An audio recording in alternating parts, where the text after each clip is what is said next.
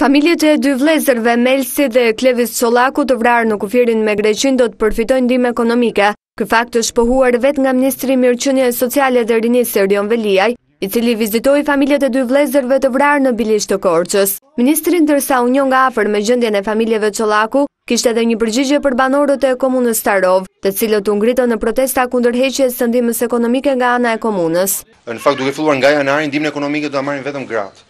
Burra që janë shëndoshë e mirë, burra që kanë tokë, burra që kanë makinë, burra që kanë një shtëpi me mbi dy kate, nuk do të marrin ndihmë ekonomike. Kështu që unë e di që për disa njerëz qyli ishte shumë i ëmbël, por më vjen shumë keq kjo nuk vazhdon pra. Unë jam autoriteti i Republikës së Shqipërisë që është kujdeset për ta shpërndarë ndihmën, po jo vetëm për ata që e marrin. Detyra jonë është të jemi nikoqirë dhe për ata që e japin. Në lidhje me pretendimet e njohura të familjarëve se vëllezërit fatkeqë janë vrarë pa faj, sepse ata thjesht peshkonin dhe nuk merreshin me kontrabandë, Veliaj u shpreh se do të interesohet në Prokurori dhe në Ministrinë e Brendshme.